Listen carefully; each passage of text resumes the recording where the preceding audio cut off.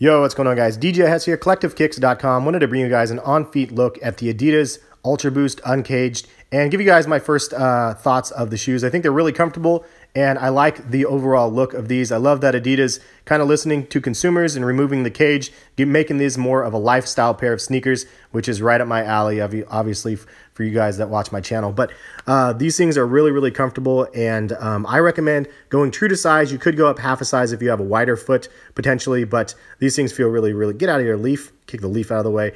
Uh, but uh, they're really, really comfortable pairs of sneakers, and uh, they retail at 180. I thought they were going to raise the prices to 210. Rumors were flying, but they were 180 still. If you guys want to buy them at retail, check the links in the description. Footlocker had the black pair restocked recently, so pretty uh, pretty cool that uh, they're more available than some of the other ones. I really like the black pair and the gray pair and the red pair. I mean, all of them that came out were pretty dope. Subtle um, three-stripe branding right there, replacing the three-stripe branding on the cage that is no longer there. But what do you guys think about the Ultra Boost Uncaged? A lot of people are saying, meh. Some people are like, yes, and some people absolutely love them. Uh, I'm definitely on more of the love side. Hopefully, again, you guys liked, and I'll have a full comparison between these and the other versions of the Adidas Ultra Boost soon. Peace, guys.